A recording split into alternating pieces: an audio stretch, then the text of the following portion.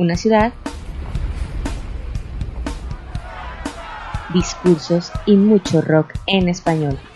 Transeúnte. Puebla, sonidos, y discursos.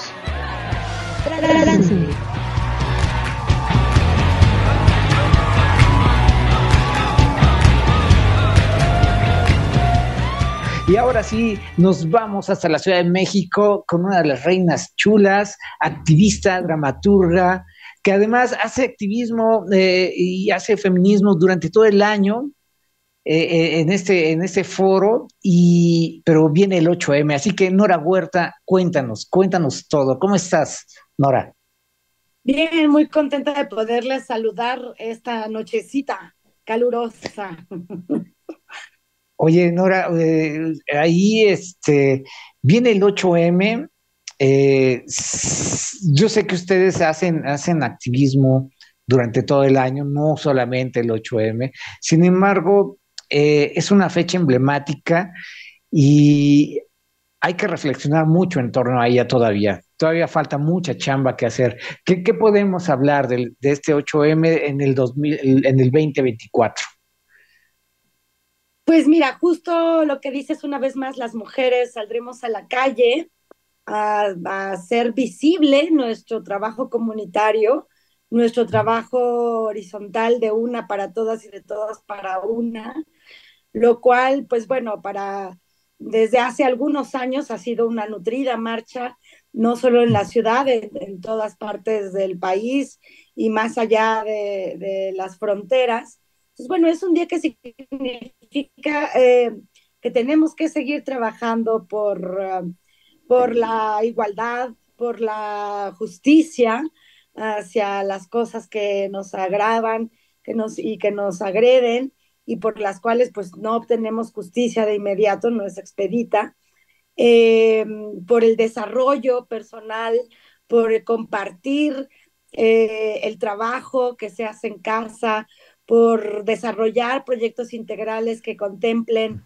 el cuidado de las mujeres en todos los sentidos, ¿no? Desde el cuidado psicológico, desde el desarrollo profesional, desde el cuidado de la salud, desde el cuidado en el trabajo, alejarnos cada vez más de la violencia que existe en torno a las mujeres por el hecho de ser mujer, eh, insistir a la sociedad que se sume a estas acciones, a nuestros compañeros hombres, a que se sumen en este espacio de sensibilidad, de mirar que ha habido una larga historia de desigualdades eh, con las mujeres y que nuestro deseo es poder caminar hombro con hombro, brazo con brazo de mujeres, de compañeros, abrir las puertas para que los niños y las niñas puedan tener un espacio más tranquilo donde desarrollarse y em, que puedan em, cumplir con sus metas y sus sueños, sobre todo fomentar sueños y que puedan eh, eh, cumplir sus metas y libres de violencia.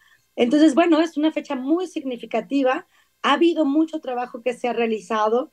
Si bien hoy el feminismo parece que ha abarcado ya muchos espacios y que mucha gente empieza como a enterarse que existe un movimiento de pensamiento, de acción, que se llama feminismo, hemos tenido que seguir combatiendo con, las malas definiciones, ¿no? Del feminismo, mm. que si el feminismo odia a los hombres, que si está en contra de los caballeros, que si odia el poder, y no, bueno, en lo, que está eh, buscando transformar el feminismo es una estructura patriarcal, es decir, una estructura donde beneficia a los hombres y a las mujeres se les destina a ser em, sumisas o oprimidas por el poder de los hombres. Ahora, no cualquier hombre, ¿no? Tú que también en tanto hombre, me parece que habemos muchos sectores que sufrimos del patriarcado, porque bueno, pues es a, a los hombres poderosos, a los hombres eh, que tienen dinero, a los hombres que ejercen la política, a los hombres que toman decisiones, a los jefes, a los hombres que están en posiciones de poder y que el patriarcado les ha dicho, bueno, pues tú tienes el don de ser el opresor y ellas o ellas o toda la comunidad inferior tiene el don de ser los oprimidos. Entonces, bueno, ese es un poco, digamos, a grandes rasgos, eh, como yo podría definir el, el, feminismo desde el lugar en donde me he acercado, pues tiene que ver con el activismo desde el arte, desde la risa. Exacto. Y, perdona, y pues bueno, pues para nosotros es como muy bonito eh, desde mi quehacer cotidiano, pues eh, poder eh, sumar mi alegría, sumar mi trabajo, sumar mi inteligencia eh, y, y, y, todo a, a esta marcha. Eh, con la finalidad de poder abrir espacio para las demás, que se rompan los privilegios, que no las mujeres lleguemos a la universidad o a los estudios por privilegios o a desarrollarnos en lo que nos gusta por un privilegio, sino que pueda ser una opción verdadera para todas las personas. Y ahí, pues no es solamente para las mujeres, primero para las mujeres, pero en segundo, por supuesto, para todas las personas, que podamos desarrollarnos en ámbitos saludables y que podamos desarrollarnos, trabajar y vivir de lo que nos gusta, que tengamos una vida digna, correcta, en fin, hay muchos sueños todavía por cumplir. Es un día de lucha de mujeres, un día que nos gusta reunirnos a las mujeres, tomar las calles, cantar entre nosotras, bailar en la calle, asumir el espacio público como un lugar que tiene, que nos pertenece, que tendría que eh, ser libre de violencia también, un lugar que nos reciba bailando, cantando, coreando, eh, gritando consignas, eh, en fin, entonces es un día que nos gusta nos gusta mucho a las mujeres y como bien dices, pues es una pena que solo sea un día, porque tendría que ser todos los días del año, pero bueno, en principio, pues el 8 de marzo salimos todas las mujeres a caminar, a bailar, a gritar consignas y a hacernos visibles y a hacer presente que somos muchas las que queremos transformar el, el, mundo en el que vivimos. Qué bueno y, ojalá llegue a, muchos lugares donde estos discursos, esta forma de, de, entender la vida mm, es más difícil, ¿no? Comunidades lejanas, donde todavía es más rezagado este pensamiento, pero bueno, eh, que suceda, que suceda en cadena. Y es natural esta significación del feminismo también, con sus aristas, ¿no? Con, con sus contraposiciones.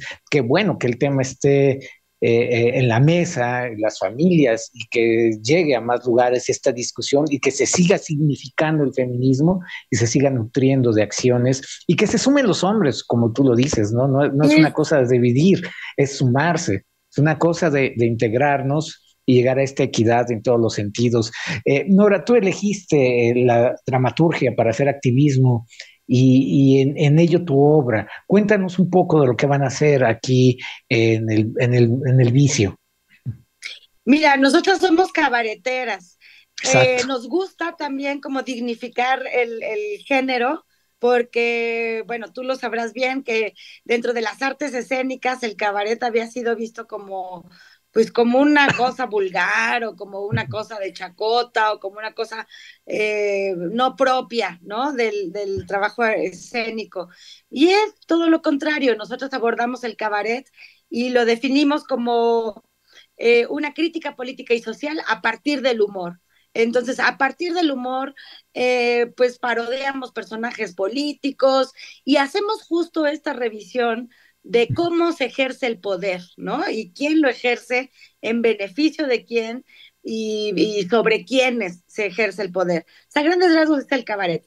Y ahora estamos presentando un espectáculo en Teatro Bar El Vicio en la Ciudad de México, en la calle de Madrid número 13, acá en Coyoacán, un espectáculo que hace homenaje a Rosario Castellanos, ahora que se cumplen los 50 años de su fallecimiento, pues quisimos eh, eh, sumarnos a recordar su voz, su pluma y su inteligencia eh, con un espectáculo que hace, que rinde homenaje a partir de una obra que escribió Rosario Castellanos que se llama El Eterno Femenino.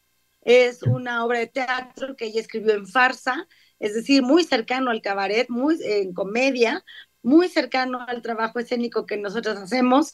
Entonces, bueno, tomamos algunas escenas de la obra de Rosario Castellanos, la llevamos o la actualizamos un poquito. Fue una obra escrita por ahí de 1974, 75. Entonces, bueno, pues han pasado algunas décadas, pero por desgracia no ha cambiado todo desde como lo miró Rosario.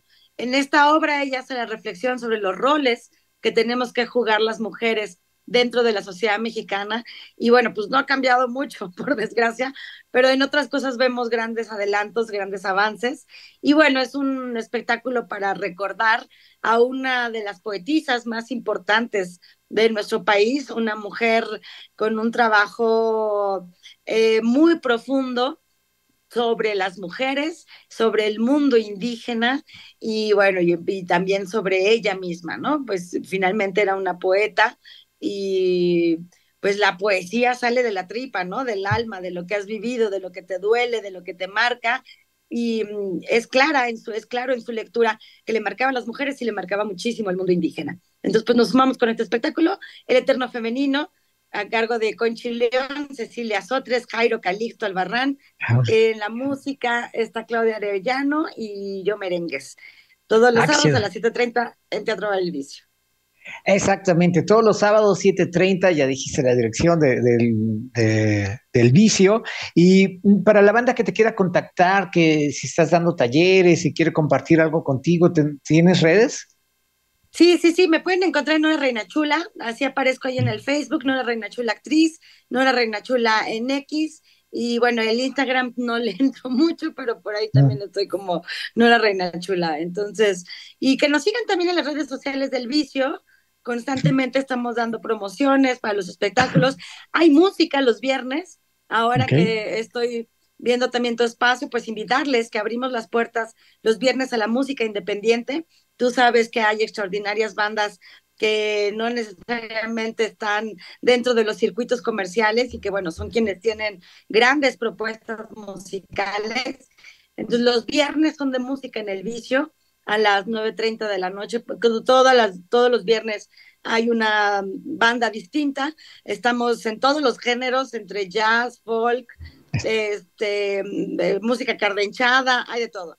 Y nosotros estamos los sábados y pueden seguir toda la programación en teatrobarelvicio.com.mx. Perfecto, Nora. Pues muchísimas gracias por compartir tu propuesta, tu forma de ser es muy chida, muy chida. Y, bueno, se, se refleja aquí en el Bar El Vicio con toda la programación. Muchísimas gracias y pues los esperamos.